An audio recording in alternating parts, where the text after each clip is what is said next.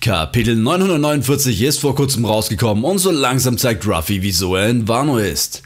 Der Kampf der Strohhut-Gefangenen-Allianz gegen die Beast-Piraten läuft immer noch weiter. Es sieht so aus, als hätte Team Strohhut die Oberhand im Kampf, doch plötzlich zeigt der Scorpion Man seinen wahren Plan. Da er die Strohhüte nicht treffen kann, schießt er einfach auf die Gefangenen in Udon, was Chopper und Ruffy richtig sauer macht. Diese kloppen wie wild auf die Beast-Piraten ein. Wir kriegen aber auch zum Glück Szenen der anderen Allianzmitglieder. Hio zeigt, dass er trotz seines Alters noch ein ernstzunehmender Schwertkämpfer ist. Auch Okiko schnetzelt sich nur so durch die Gegner. Wie es aussieht, ist sie ein auf Speed basierter Schwertkämpfer oder Schwertkämpferin oder ihr wisst, was ich meine. Ebenfalls Reiso gibt sein Bestes. Er schafft es sogar, die Schlüssel für Kids und Killers Handschellen zu bekommen.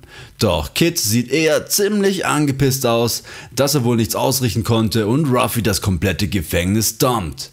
Killer ist nach wie vor immer noch am Lachen. Währenddessen werden die Gefangenen weiter mit den Pestkugeln beschossen. Diese infizieren den Gegner mit einem Virus, welcher einen brennenden Schmerz auslöst und zum Tode führt. Die Beast-Piraten bringen die infizierten Gefangenen dazu, in Richtung der Strohhut-Allianz zu laufen, damit diese jene berühren und somit ebenfalls infizieren. Wie wir erfahren, hat diese Pestkugeln Queen erschaffen und nennt sie Zombie.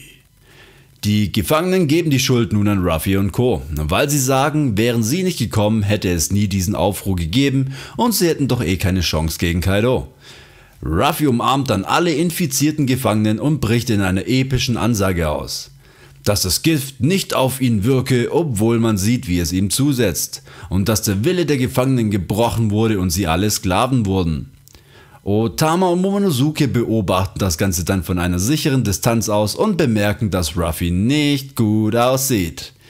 Ruffy führt weiter aus, wieso ein Außenseiter das Land nicht retten dürfte. Er habe Tama ein Versprechen gegeben, dass er Kaido besiegen würde und alle Einwohner Wanos immer genug zu essen hätten. Mit dieser Jesus-liken Ansprache erreicht er die Herzen der Samurai. Babanuki will die Chance nutzen und eine Mega-Pestkugel abschießen. Doch Ruffy hält seinen Rüssel fest, so dass die Bombe in seinem Rüssel explodiert. Ruffy sagt zu Babanuki, ich durfte gerade einen Blick in eine schlimme Zukunft erhaschen heißt es, er konnte mit seinem Observationshaki nun in die Zukunft sehen.